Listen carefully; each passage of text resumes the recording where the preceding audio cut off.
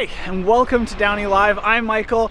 I want to say right off the bat that quite a few of you have joined in the last month and a half or so, and I really want to say welcome. And to all of you that have been with me since the beginning or even just a long time, thank you. It really means a lot, and it means we can do a whole lot more with more of you here. So, with the new year, new you mentality, I thought we could get to know each other, and I really want to let you guys know who I am. So first of all, I'm Michael Downie, hence why it's called Downie Live. I'm 31 years old and I am born and raised right here in Vancouver, Canada. And this is my elementary school. But the coolest story I have from being here as a student was in grade seven, my last year at elementary school, the administration came around to all the classrooms and handed out these papers with these circles on it and they said draw whatever you want in the circles but they didn't tell us why.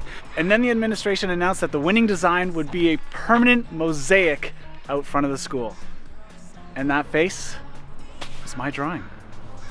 And then each grade got to build a different part of this. So I actually helped put the rocks in the nose segment here.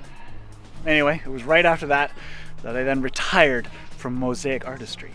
Through high school, I played a lot of sports, spent a lot of time at this ice rink playing ice hockey, and out on an artificial turf like this playing field hockey. Yes, I played field hockey, a lot of it.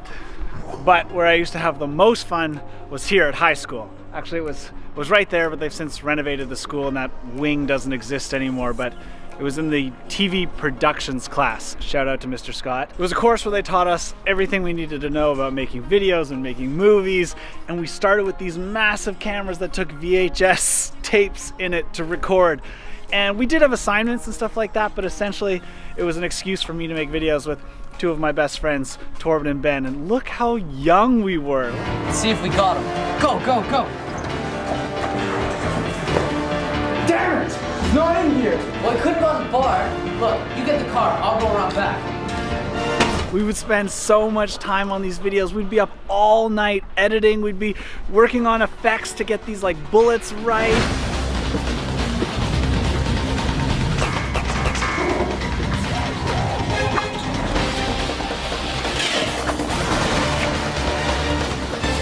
Or we'd be working on the titling sequence, which was all manual, so you can see the, the spacing isn't quite right.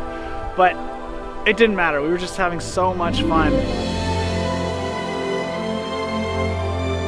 We weren't we weren't half bad at it. A lot of people asked me if I wanted to go to film school after high school and I I didn't. I didn't want to be a cameraman or editing someone else's movies, so instead I went to business school here at BCIT.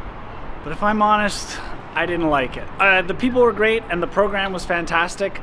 I just hated being in school. There was so much more I wanted to do. So I took a job with an experiential marketing agency as the operations manager for Western Canada. It's a mouthful, I know, but I loved the job. Thought I was pretty good at it and did it for two and a half years until I got laid off. No hard feelings. The company had to downsize. I get it. But I now had some money in my account and a whole lot of time to figure out what I actually wanted to do. Look at this. Look how nice Vancouver is. So I did whatever someone in my position would have done. I went traveling and I filmed everything. I went traveling Thailand solo. I went on a trip with one of my best friends, Torben from film class. And just like back in the good old days, we filmed the whole trip. And when I got back, I spent all my evenings editing these videos. And it was at the same time that I came across YouTubers and travel vloggers and realizing that you could kind of make this into a business.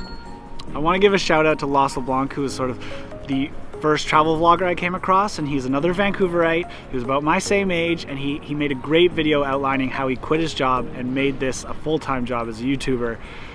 And I went, okay, this is the plan. And so that brings us to two years ago when I started this channel. And I took a job that I really didn't like, but I did that to pay the bills. And after a year of working and YouTubing, I only had 1,600 subscribers. And I realized two things. One, it's very difficult to start a YouTube channel from scratch. And two, I needed to put more time and more energy if I wanted to make this a success. So I straight up walked out of my job one Thursday afternoon. Dave, I'm very sorry for doing that. I apologize, but I do not regret it. And ever since then, I've been a full-time YouTuber. And now it's 2019, two years later, we're still here. And I'm so excited to show you what I have in store for us this year. But first, I want to know two things from you, please. In the comments, let me know A, where you're watching from, where are you right now? And two, what videos you want to see more of this year, the adventure vlogs or the behind the scenes videos.